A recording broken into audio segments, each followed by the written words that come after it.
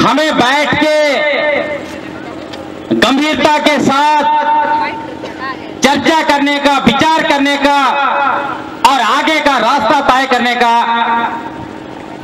बहुत ही ज़रूरत है कि भारत जो है, धरती का सबसे बड़ा लोकतंत्र ज़रूर है लेकिन पिछला सत्तर साल का अनुभव ने यह बता दिया है कि भारत देश में आदिवासियों को न्याय नहीं मिल सकता है। भारत देश का लोकतंत्र आदिवासी को कभी न्याय नहीं दे सकता है।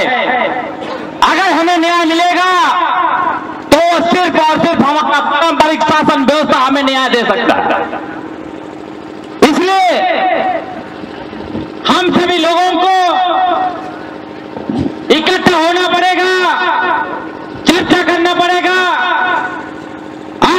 आप जानते हैं। आप पिछला सत्तर साल से बाप दादा से लेकर हम लोग लगातार जो है कि चुनाव में वोट दे रहे हैं।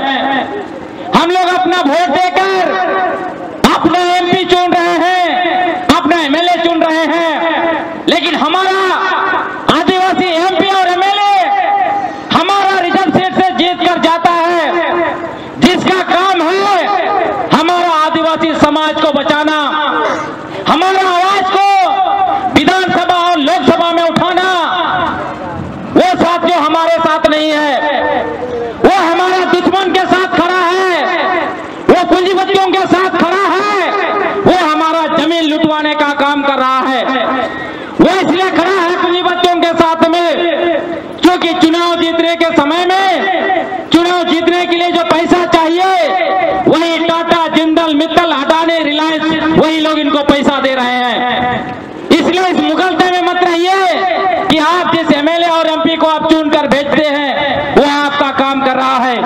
आपका आवाज़ उठा रहा है। इसलिए आपको यह भी शपथ लेना चाहिए, आज के बाद एमपी और एमएलए को अपने इलाकों में हम घुसने नहीं देंगे अपने गाँव में घुसने नहीं देंगे क्योंकि इन लोगों ने हमें न्याय नहीं दिया इन लोगों ने हमारा ज़मीन बचाने का काम नहीं किया ज़मीन लुटवाने का काम किया।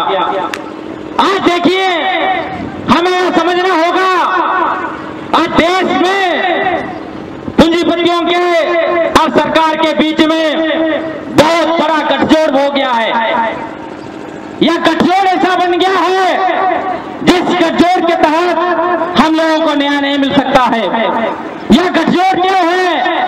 क्योंकि यह पूंजीपति लोग टाटा जिंदल मित्तल और बड़े बड़े पूंजीपति सभी राजनीतिक दलों को चुनाव लड़ने पैसा दे रहे हैं। पिछले लोकसभा चुनाव में, विधानसभा चुनाव में आपने गौर किया होगा, इन लोगों ने पानी की तरह पैसा बहा दिया। क्यों पानी की तरह पैसा बहा दिया?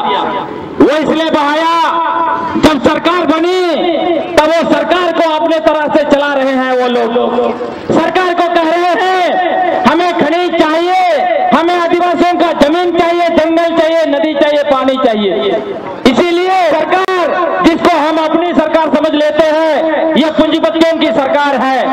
यह पूंजीपतियों की सरकार हमारा ज़मीन रक्षा कानून को संशोधन कर रहे हैं। पिछला साल उन्होंने छोटानागपुर काश्तकारी अधिनियम, संताल परगना काश्तकारी अधिनियम को संशोधन किया। उसके साथ साथ भूमि अधिग्रहण कानून को भी संशोधन कर दिया। और सारा जगह पर पुलिस लगाकर और सैनिक बलों को लगाकर हमारा ज़मीन लूट रहे हैं जहाँ हम लोग बोलते हैं जान देंगे ज़मीन नहीं देंगे तो हमारे ऊपर पुलिस का गोली चलता है ये सिर्फ़ और सिर्फ़ हमारा खनिज संपदा हमारा ज़मीन जंगल सब कुछ को लूट लेना चाहते हैं ये रोज दिन कहते रहते हैं कि हम आपका विकास करेंगे, हम आपका विकास करेंगे और हम आपका विकास करेंगे। ये सारे लोग आपका वोट लेने के लिए वो ठगते रहते हैं। अब हमें समझना पड़ेगा, यदि विकास के लिए उद्योग लगाया जा रहा है झारखंड में, यदि विकास के लिए खनिज निकाला जा रहा है झारखंड से अब याद रखिए, आप इस इलाके से आते हैं सरंडा जंगल इसका सबसे बड़ा उदाहरण है। सरंडा जंगल में 1925 से विकास के नाम पर खनिज संपदा निकाला जा रहा है। जब 1925 से खनिज संपदा निकाला जा रहा है तो पूरा कोल्हान का विकास हो जाना चाहिए था। लेकिन आज कुलान की स्थिति क्या है? इस इलाके में रहने वाले प्रतिशत आदिवासी महिलाओं, महिलाएँ जो है कि खून की कमी से जूझ रही है। बच्चे जो है, वो कुपोषित है। सरंडा जंगल का अस्सी प्रतिशत बच्चा कुपोषित है। क्यों ऐसा है? हमारे लिए आज भी अच्छा स्कूल नहीं है। हमारे लिए अच्छा शिक्षा केंद्र नहीं है। सरंडा जंगल में मैं देखता हूँ, हर साल 25-30 लोग जो है कि सांप काटने से मर जाते हैं। उनके लिए कोई दवा का व्यवस्था नहीं करती है सरकार जबकि इसी सारंडा जंगल से आपका यही कुल्हान से विकास के नाम पर तीन हज़ार करोड़ रुपया का खनिज संपदा निकाला जा रहा है हम आदिवासियों को भारत देश में विकास के नाम पर लूटा जा रहा है इस साथियों हमारे साथ धोखा किया जा रहा है इस सरकार को सबक सिखाना पड़ेगा हम लोगों को मिलकर। आज आपको समझना पड़ेगा, विकास का क्या अर्थ बन गया है? विकास का क्या मतलब है आपको समझना चाहिए।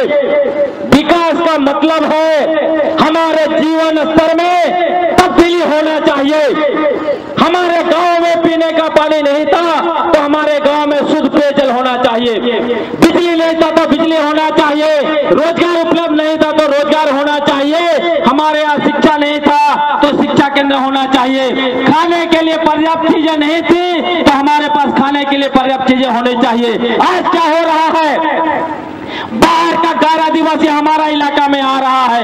वो हमारा खनिज संपदा को सौदा करके वो बिल्डिंग बना रहा है। उसके बच्चे विदेशों में पढ़ रहे हैं और हमारे बच्चों का पढ़ने के लिए खिचड़ी स्कूल है हमारे बच्चों के पास अच्छा कपड़ा नहीं है हमारे लोगों के पास अच्छा कपड़ा नहीं है तो क्यों विकास के नाम से हमारा खनिज संपदा को लूटा जा रहा है। आपको समझना पड़ेगा, आज का विकास का मतलब है कि हमारा जंगल ज़मीन, नदी, पानी को लूट कर खनिज संपदा को लूट कर टाटा जिंदल मित्तल एस आर अडानी को सौंपना है। इसी को आज के तारीख में विकास कहते हैं साथियों। इस विकास में आपको कुछ नहीं मिलना है। दूसरा बात आपको समझना पड़ेगा, आज का विकास जो है, वो पूंजीपतियों को ज़्यादा मुनाफा पहुंचाना है इसको विकास कहते हैं। आप चले जाइए। गोड्डा में अडानी कंपनी का बहुत बड़ा पावर प्लांट लग रहा है। वहाँ पे ज़मीन जो है और खनिज आदिवासियों का जा रहा है। यहाँ के मूलवासियों का जा रहा है। रघुवर सरकार बोलती है कि झारखंड के एक एक घर में बिजली देना है। सुनने में बहुत अच्छा लगता है। अब ये बोल रहे हैं, पूरे झारखंड के सभी गाँव में बिजली पहुँचा दिया। लेकिन सरकार का ही आंकड़ा बताता है झारखंड के 30 लाख घरों में अभी भी बिजली नहीं है। बिजली बना रही है अडानी कंपनी। 1600 मेगावाट बिजली उत्पादन होगा गोड्डा का प्लांट से। बिजली किसको मिलेगा? 1200 मेगावाट में से 1200 मेगावाट बिजली बांग्लादेश को बेचा जाएगा। किसका विकास हुआ? आपका कि बांग्लादेश का? आपको यही सोचना पड़ेगा कि बांग्लादेश को क्यों बिजली दिया जाएगा? बांग्लादेश को बिजली इसलिए देंगे क्योंकि अडानी कंपनी बिजली झारखंड में बेचेगी तो अडानी को कम फ़ायदा होगा। बांग्लादेश में बेचेंगे तो अडानी को जो है कि ज़्यादा से ज़्यादा मुनाफा वो कमाएगा। ज़्यादा से ज़्यादा फ़ायदा होगा अडानी को। मतलब विकास का मतलब आज हुआ, वो है बड़े बड़े कंपनियों को फ़ायदा पहुंचाओ। आपको समझना पड़ेगा, आज का विकास का मतलब आदिवासी इलाकों में बड़े बड़े कंपनियों का साम्राज्य स्थापित कर दो। इसका सबसे बड़ा उदाहरण है जमशेदपुर जमशेदपुर आप जाके देखिए एक सौ साल पहले जमशेदपुर में पंचानबे आदिवासी रहते थे। आदिवासियों का चौ, चौबीस गाँव हुआ करता था। टाटा कंपनी आई, आदिवासियों का चौबीस गाँव को खत्म करके पूरा साम्राज्य स्थापित कर दिया अपना। आज जाके देखिए, एक सौ साल के बाद आदिवासी पंचानबे प्रतिशत से घटकर पाँच प्रतिशत बच गया। अगला एक सौ साल में कोई आदिवासी शब्द नहीं बचेगा जमशेदपुर में यह है विकास कोटी इलाका में मित्तल का साम्राज्य स्थापित किया जा रहा था। वहाँ पे पच्चीस हज़ार एकड़ ज़मीन जो है कि दे रहे थे मित्तल कंपनी को। क्यों पच्चीस हज़ार एकड़ दे रहे थे?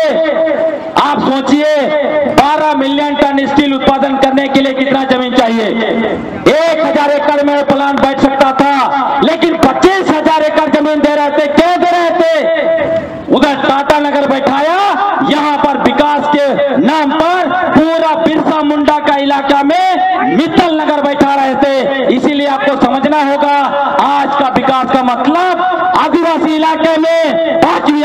इलाके में कुलपतियों का साम्राज्य स्थापित करो आदिवासी इलाके में गैर आदिवासियों का उपनिवेश बनाओ। इसका सबसे बड़ा उदाहरण, साथियों, आपका नवा मुंडी है। नवा मुंडी एक समय में आदिवासियों का गाँव था, वो आदिवासियों का गाँव था।